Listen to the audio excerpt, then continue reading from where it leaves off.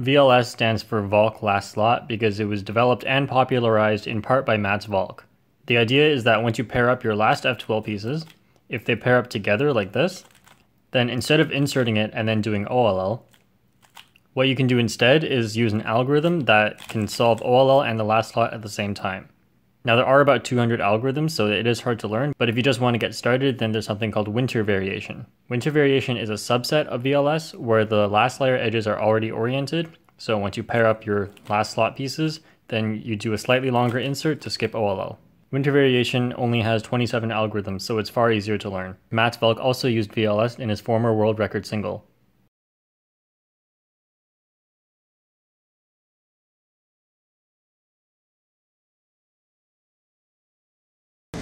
Sam! Yeah! Yeah!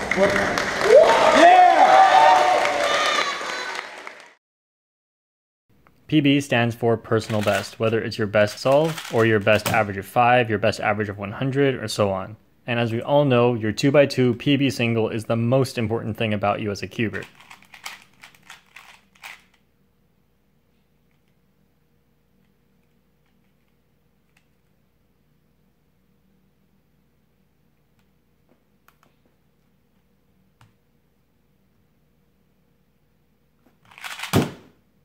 Yes, finally.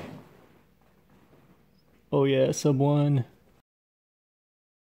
WCA stands for World Cube Association. And all world records, or records of any sort, if it's an official world record, that means that it happened in a competition that is recognized by the WCA and runs by all of the WCA regulations. You can go on the WCA website to look at competitors, records, and also find out what competitions are happening soon.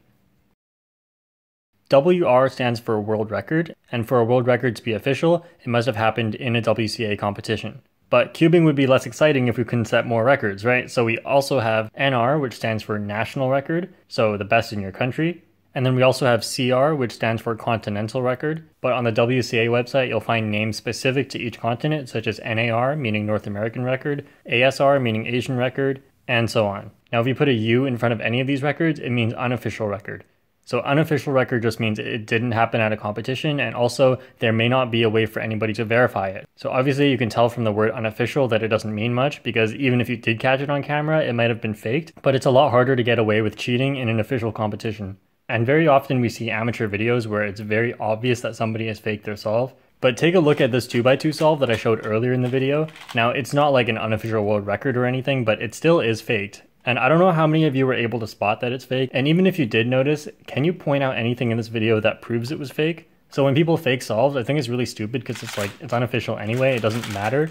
But I also wanted to see like how easy it is to fake one and get away with it. So that's why I had one in this video and wanted to see it as an experiment if anyone could figure it out. And the lesson here is that if you see a solve that seems too good to be true, maybe it is. But you know, maybe it's not. With the lucky enough scramble, I could totally have gotten that 2x2 time anyway.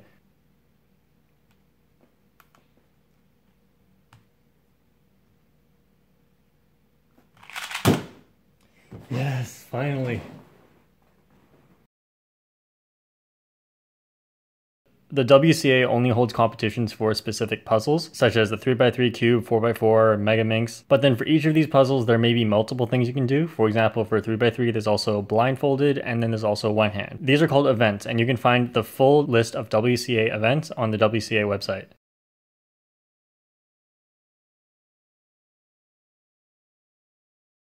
But sometimes we shorten these events, and here are some examples. So BLD means blind, and when you say three blind, it doesn't mean you do three cubes blindfolded, it means you do a three by three blindfolded. Four blind would be four by four, and five blind would be five by five. OH stands for one hand, and in conversation we often just say OH, even though one hand is just as easy to say. Squan is sometimes used, and it's short for square one. And FMC stands for Fewest Moves Challenge. This is the event where you get one hour to try and solve a cube in as few moves as possible and record your solution.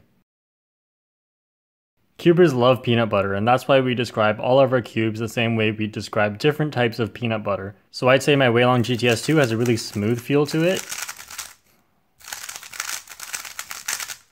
The Valk feels really crunchy. And the Ganz Air feels kind of buttery.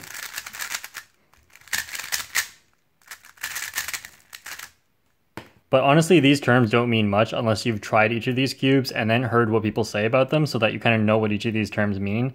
Like some of them make sense, like smooth. And honestly, I don't even know what buttery is supposed to mean unless we're talking about peanut butter. DNF stands for did not finish, and that means that your solve does not count. So it doesn't matter how fast your solve was, it is disqualified. And there can be a few reasons why you receive a DNF. Some examples include not starting the timer properly,